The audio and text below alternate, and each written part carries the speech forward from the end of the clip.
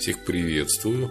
Продолжаем рассматривать работы художников и скульпторов и описание к этим работам по книге «Великие музеи мира».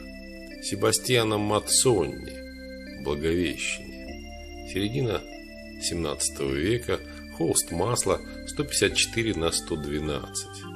Благовещение Себастьяна Мацони поражает необычной интерпретацией и композицией евангельского сюжета.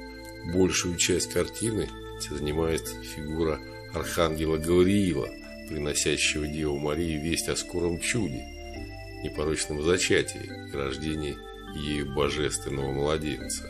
И хотя в нежной руке архангела цветок лилии, символ чистоты, все же можно понять юную Марию, так резко отпрянувшую.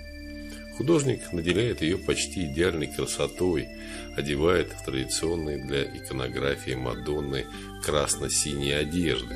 Но порывистое движение девы кажется следствием реакции не столько на весть, сколько на неожиданное и стремительное нисхождение архангела.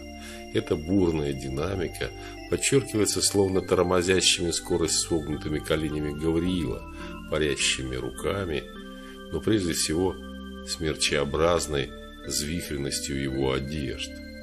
Мацони родился и работал во Флоренции, затем переехал в Венецию, где прожил до своей кончины, творя еще и как архитектор. Живописные алтарные композиции обнаруживают его особое мастерство передавать деформации в ракурсе и мистические вспышки света, впрочем, смягченные цветовыми переливами. Такое описание по книге «Великий музей мира» к работе Себастьяна Мацонни «Благовещение. Середина 17 века». Пока-пока, до свидания. Смотрим работу.